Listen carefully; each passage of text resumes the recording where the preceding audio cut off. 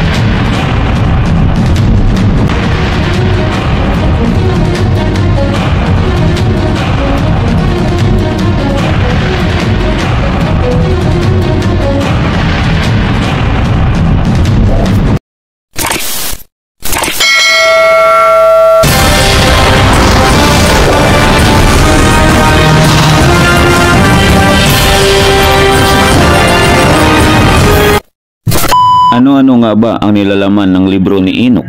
Bakit hindi siya isinama sa Biblia? Bakit maraming mga Bible scholars na hindi kinoconsider na parte ang libro ni Enoch sa Biblia at tinatawag itong pseudepigrapha? At sino nga ba ang bukod tanging sikta o samahan na isinama ang libro ni Enoch sa kanilang Biblia? Itong lahat ay ating aalamin sa masusing pananaliksik. Ang libro ni Enoch ay kinukonsider na pseudepigrapha. Ang ganitong uri ng libro ay sinulat pa noong 200 BC at 300 AD. Ano ba ang ibig sabihin ng BC at AD? Ang BC ay before Christ o bago ipinanganak si Kristong Jesus. At ang AD naman ay nangangahulugan ito sa Latin na Anno Domini o in the year of the Lord. Kapag sinabing pseudepigrapha, ibig sabihin hindi malinaw kung sino ang sumulat at kailan ito isinulat. Sa madaling sabi, ang libro ni Enoch ay hindi kinasihan ng Diyos at hindi ito kasama sa canon of the scriptures. Ano ba ang canon of the scriptures? Ito ay koleksyon ng mga libro na binubuo ng mga sagradong kasulatan o Biblia ng mga Hudyo o Kristiyano. Dito nakalagak ang lahat ng sagradong aklat na napatunayan na. Sabi ng ilang scholars sa Biblia, kaya Book of Enoch ang pamagat ng libro dahil siya mismo ang nagsulat nito dahil nabanggit siya sa Genesis nung sa simula pa lang. Pero ang sabi rin ng ibang scholar, kaya Book of Enoch ang pamagat ng aklat dahil isinulat ito sa ibang tao at para magustuhan at makibinti sa pamagat pa lang ay of Enoch at kaakit-akit. Sa makatuwid, ito ay isang compilation.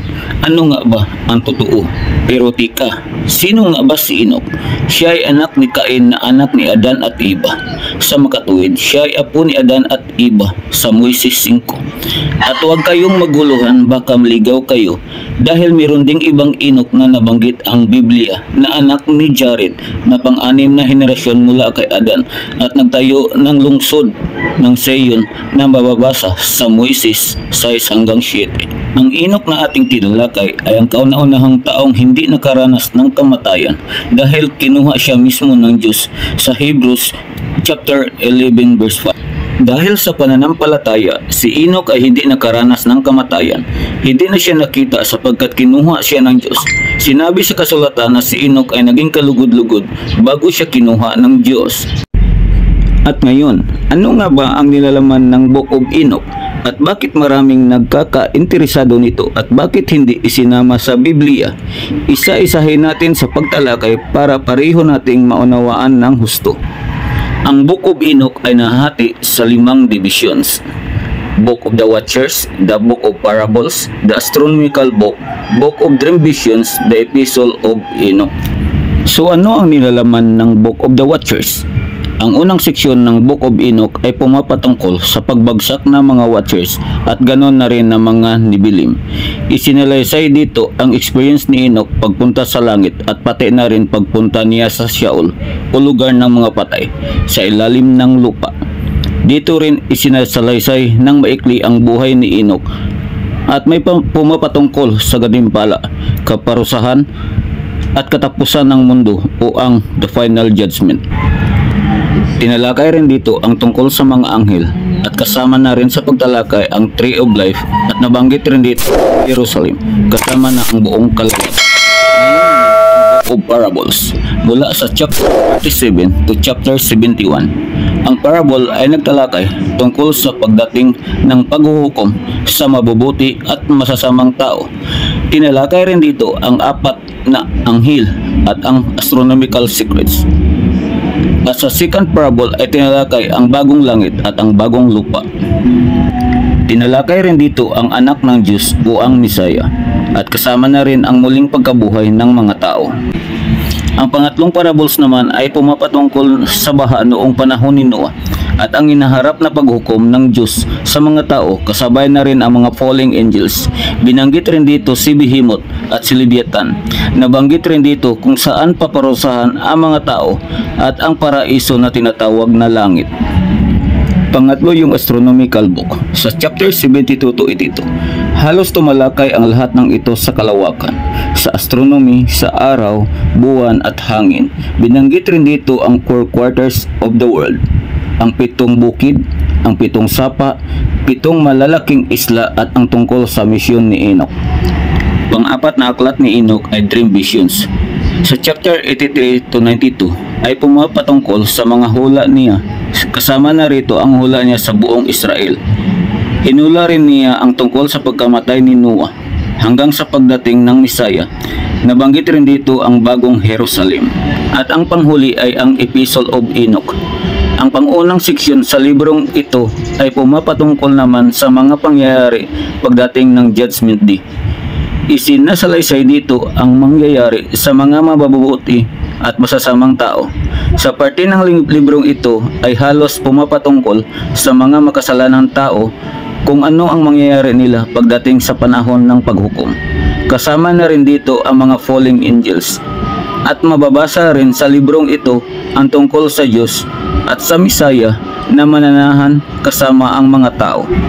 At ngayon, kung ating sisiyasatin ng maigi ay halos karamihan ng mga content sa libro ni Enoch ay mababasa mo talaga sa Biblia gaya ng mga anghel, kamatayan, pagdating ng Misaya, katapusan ng mundo at marami pang iba. Bakit nga ba ipinapayo ng mga leader ng iba't ibang sikta o denomination na huwag paniwalaan ang libro ni Enoch dahil wala daw itong katotohanan? Pero naniwala naman sila sa pagdating ni Kristo naniniwala naman sila sa kamatayan. Ano nga ba ang pakay nila? Kung tutuusin, si Enoch ay kinalulugdan ng Diyos bago siya kinuha papuntang langit. Ang kadahilanan bang syudi pigra pa o walang pagkakilanlan ng nagsulat at kung kailan ito na isulat o may malalim pang dahilan. At ito pa ang isang dahilan kung bakit hindi isinulat ang libro ni Enoch sa Biblia. Dahil kung may aklat daw si Enoch na siya mismo ang nagsulat nito, maaring nawala na ito dahil nabubuhay si Enoch bago pa ang pandaigdigang baha. Giving the benefits of the doubt. Dahil si Metusila ay anak ni Enoch at si Lamik ay anak ni Metusila at si Noah ay anak ni Lamik. Sa makatuwid, si Noah ay apo ni Enoch. Hindi ba kaya naitabi ni Noah ang libro ni Enoch dahil siya mismo ang gumawa ng arka?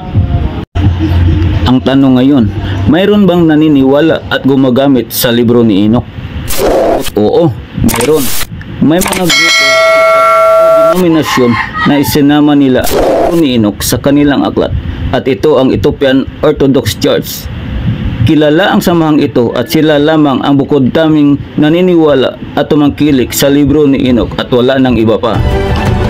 Kung kayo ay may mga katanungan, kasagutan, opinion o suhestyon, mangyaring mag-comment lang kayo dito sa ibaba.